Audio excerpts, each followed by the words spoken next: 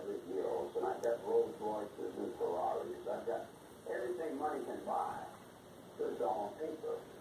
Everything's done through the companies because through tax loopholes. And, and the people that live on that level, they don't care about the average honest mule They just go back and forth to work.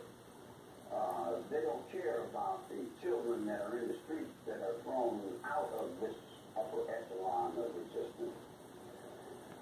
then when all the children fall down into me, on my level, I pretty much identify with them because I was the throwaway also.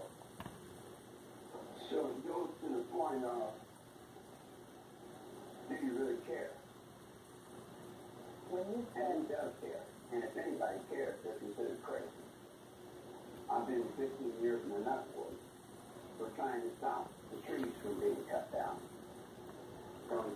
to uh, rearrange a lifestyle of a bunch of people who don't want to change.